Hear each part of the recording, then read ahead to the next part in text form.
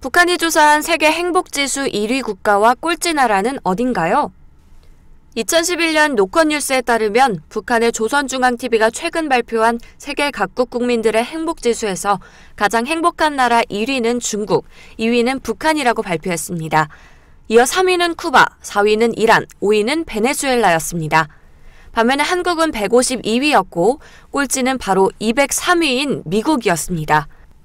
참고로 당시 OECD가 발표한 순위는 1위가 호주, 2위가 캐나다였으며 미국은 5위, 그리고 한국은 26위에 랭크됐습니다.